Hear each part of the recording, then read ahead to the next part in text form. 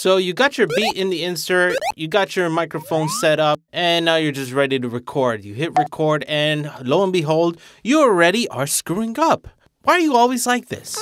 Look at my mouse. You messed up right around here, right here. This arm to record button is very, very important for you guys and girls to be able to organize your files nice and clean. Now take a look here. I'm gonna go ahead and just hit record and play.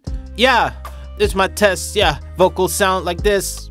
Whatever. Look at this nasty poo poo platter of a name right here. Untitled 2024, this, that, insert three. Oh my god. Let's put this into purgatory. Right click, delete, you're gone. Matter of fact, let's hit that Monster Reborn.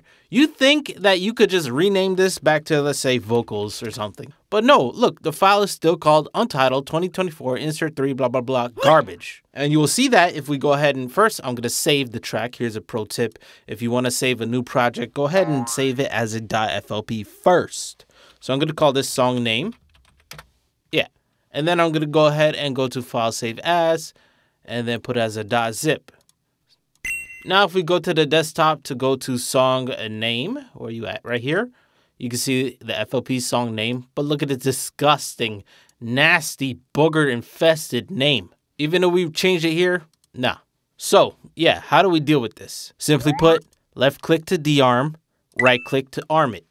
Now we're gonna call this song name, artist name, and you could just leave it just like that, or you could just put like something like vocals. So now if we hit record, bing bang, bing bang, bing bang, boom.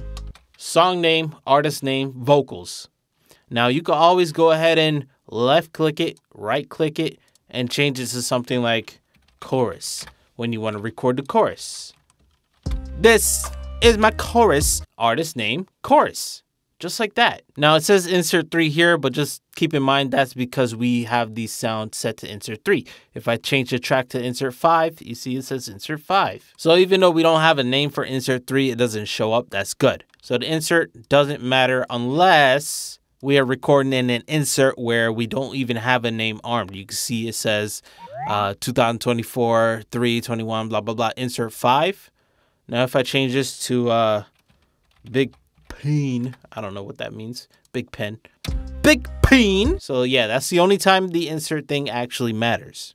Let's say, God forbid, your project crashes, you're gonna have a hard time unless you have the song names. Let me show you one more thing. You'll be able to see my music course series where I teach everybody how to create music from the ground up. So if you are a newbie, I teach every little thing. Look, watch learning rhymes and stuff like that, recording vocals, mixing, exporting, whatever. I'm teaching MIDI. Look at me with the MIDI cable. But I do got a lot of free stuff on here, so go ahead and click this video next if you want to see what is up. What is YouTube recommending to y'all? It's your boy, Justin Omoi. And with that being said, peace.